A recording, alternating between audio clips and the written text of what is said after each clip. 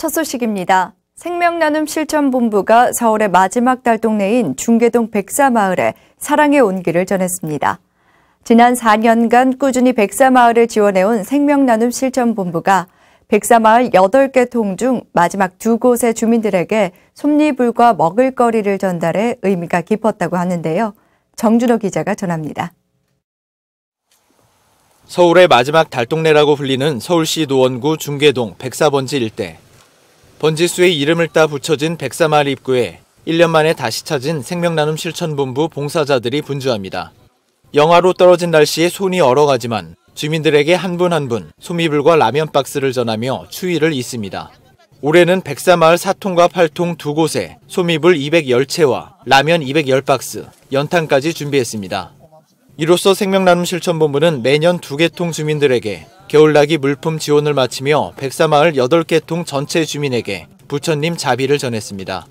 백사마을 그러면 서울에서 가장 아주 달동네고 어렵게 사는 할아버지 할머니들이 계시는 동네입니다. 우리 생명 나눔에서는 여러분들에게 어떻게 하면 따뜻하게 겨울을 보낼 수 있나 그렇게 하다가 라면, 이불, 살, 연탄 이렇게 해왔습니다. 특히 올해는 가수와 배우로 활동하고 있는 수지가 생명나눔 실천본부의 후원 활동을 지원하며 주민들에게 온기를 전달했습니다. 우리가 수지가 이렇게 따뜻한 이불일과 컵라면을 해서 저도 함께 참여할 수 있어서 너무 반갑습니다. 오늘도 다들 건강하게 감기 조심하시고 새해 복 많이 받으세요. 일면 스님과 함께한 생명나눔 실천본부 홍보 대사들은 거동이 힘든 어르신들 가구에 직접 배달까지 나섰습니다. 추운데 혼자 사니까 네, 감사하지 뭐 추운데 오셔서 진짜 도와주는 게 감사하고 가정 방문 도중에는 전달받기로 예정됐던 주민 한 분이 이틀 전에 유명을 달리한 소식이 전해져 봉사자들은 집안에 조그맣게 차려진 빈소를 찾기도 했습니다.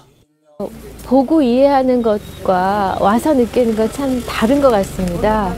어, 우리가 이렇게 누리고 사는 것, 음, 혹시 행운을 누렸다면 이제 세상에 한턱을 쏴야 된다고 생각을 하는데요. 그런 차원에서 뭐 저뿐만이 아니라 많은 분들이 애를 쓰고 계신데 좀 더 관심을 갖고 사랑을 나눠주셨으면 하는 생각이 듭니다. 주민 대부분이 최저 생계비 지원으로 생활하고 있는 백사마을에 찾은 생명나눔 실천본부는 소미불과 연탄 전달로 주민들의 따뜻한 2017년 겨울을 기원했습니다. BTN 뉴스 정준호입니다.